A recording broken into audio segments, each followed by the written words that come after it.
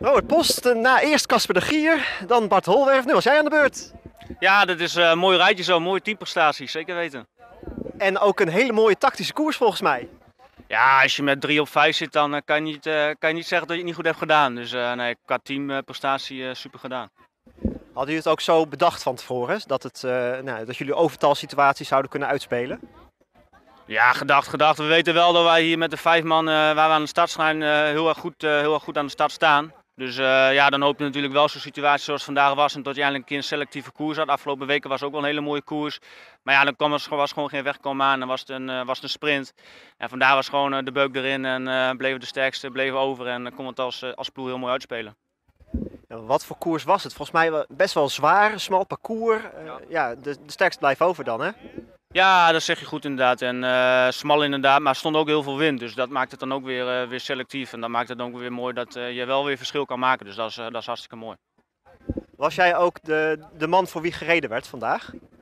Nee, nee, nee. Wij hebben van tevoren nooit een uitgesproken kopman. Wij bespreken wel bepaalde situaties. Van, nou, als we zulke, zulke, zulke situaties hebben, dan zijn dit wellicht scenario's die we kunnen gaan doen. Eh, dus ik heb natuurlijk wel gecommuniceerd met Casper eh, in de kopgroep. En eh, we wouden gewoon als, eigenlijk het liefst als 1 en 2 eh, de laatste bocht uitkomen.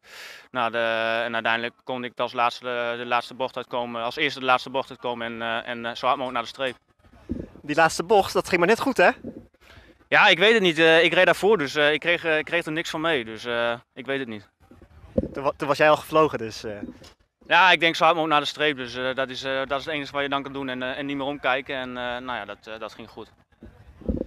Hoe belangrijk is deze reeks aan marathons voor jullie als ploeg?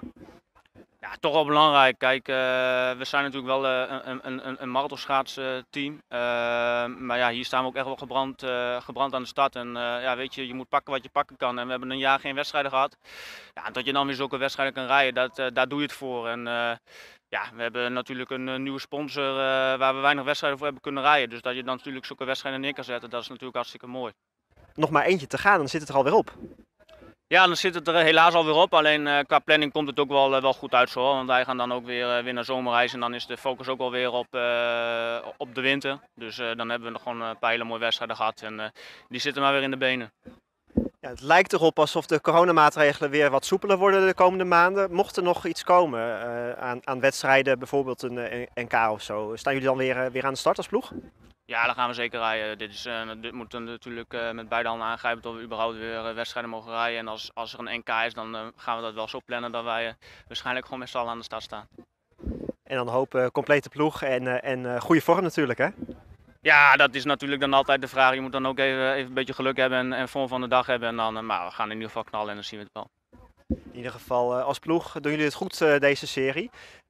Ja, nog, nog eentje te gaan over, over twee weken. En dan, ja, wie is er dan aan de beurt?